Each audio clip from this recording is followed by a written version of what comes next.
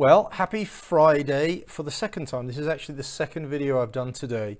Um, this is a follow on from the previous one, which was really talking about what is potentially uh, a hugely problematic data issue within the world of GIS. In this one, I'm going to address the geospatial industry. So my title here is Why is it imperative that a geospatial industry moves from dinosaur to agile? So let's talk about what dinosaur organizations are. And I just did a quick search on the web for what, what dinosaur in terms of organizations means. The kind of words that are attached to it are ponderous, slow, outdated strategies, internally focused, self-important, much talk, little action. Now, I'm not implying this all applies to the geospatial industry, but there's certainly, certainly a lot of aspects of where we are today with the overall industry that is that some of these words one could describe it as.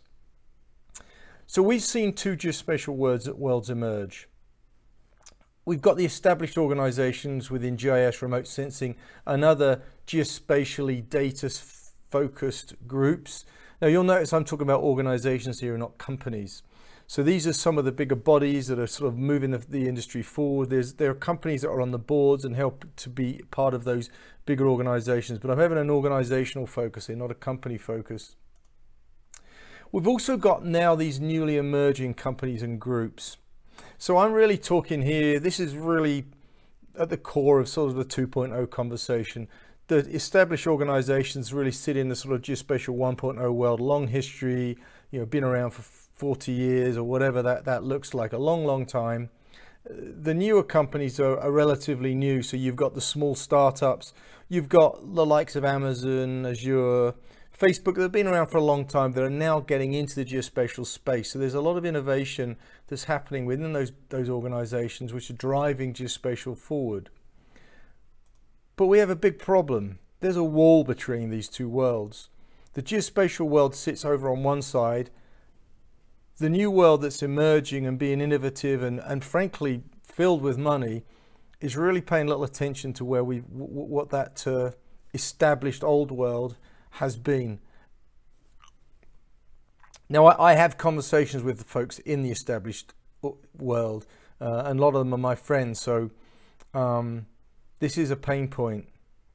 So let me ask a question: Is just old geospatial I could rephrase that as established geospatial, geospatial 1.0, whatever you want to call it. Is it still relevant? Is it still important? You can probably guess my answer to that question.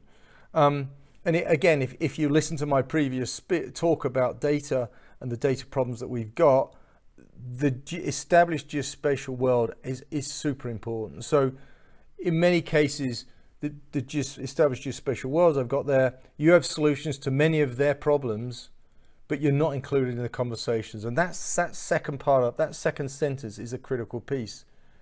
So that relevance is geospatial 1.0 still relevant? Well, no. If we're not in the conversations, these new conversations, over time, the old geospatial industry will become less and less relevant. So let's talk about steps to avoid this extinction. What does, the, what does the established geospatial industry need to do to become part of this, these conversations? Well, first of all, to change, adapt, and become agile. Critical.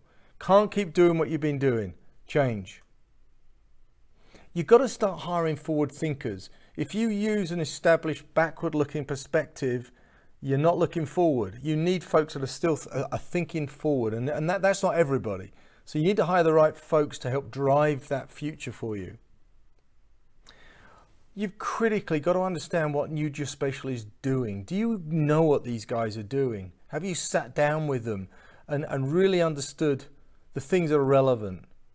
So are you visiting them regularly? Are you going to the Fords and the car companies that are looking autonomous dr driving? Are you actually sitting down with them and understanding some of the challenges they've got?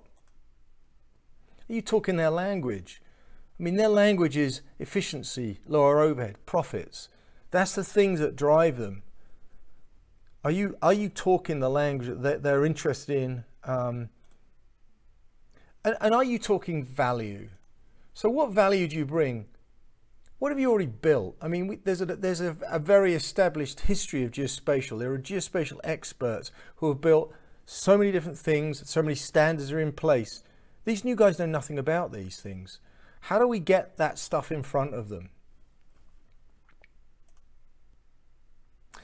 A lot of these companies are developer led. So developers are asked to build things. They're not just spatially led. There's a very big difference. So the value of having a geospatial angle to start that journey is critical. It doesn't start with the developer. So a short talk again like the first one, but I can only emphasize how important the established GIS, sorry, geospatial and GIS um, organizations are. If you are, if you become extinct, there are problems that the new world are going to, are going to encounter um, that you've already solved and they don't know it. You need to get in front of them.